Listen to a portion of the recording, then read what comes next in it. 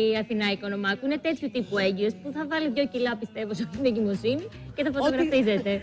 ναι. Έτσι, αυτό Έπαθα ό,τι κάνουμε καγιά. εμείς Σαββατοκύριακο. Μπράβο, μπράβο, μπράβο.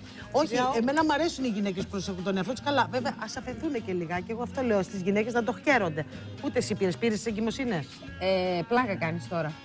Στην πρώτη πήρα 35 κιλά. 37 πήρα, ήμασταν μαζί. Στο 37 Μέγκα. Πόσο κιλά. είχα πάρει 37, ντροπή σου. Ντροπή σου που το είπες. Πάνα, πάνα Όχι, γλιτώ. κορίτσι μου, τα Παιδιά, να θυμόμαστε σας πω αυτά. εγώ Ψηλή τι και έπαθα. αδύνατη 37 κιλά. Όχι, όχι, 37 κιλά πήρα ε, και το χάρηκα. Απλώς εγώ το είχα δει λάθος. Δηλαδή, επειδή δεν είχα κι άλλο παιδί, τελείωνα τη δουλειά, πήγαινα στο σπίτι στέλιο μου και νόμιζα ότι η δουλειά της εκεί είναι να κάθεται να ξαπλώνει, να μην κάνει τίποτα και να τρώει. Α, δεν είναι Το αυτή. ζούσα έτσι. ότι έπρεπε να είμαι, ξέρεις, στο κρεβάτι και να, και να τρώω. Δούλευα μέχρι τελευταία στιγμή. Αλλά όλο τον υπόλοιπο χρόνο στο σπίτι Ήσουν ένα μασαμπούκα. Καλά ήμουν έκανες. μασαμπούκα. Το πέρασες ωραία όμως. Το πέρασα πολύ ωραία. Μα το- Μετά, μα δεν γίνεται, έχοντας λέω. το Γιάννη. Τι, αντίο ζωή; Αντίο ζωή.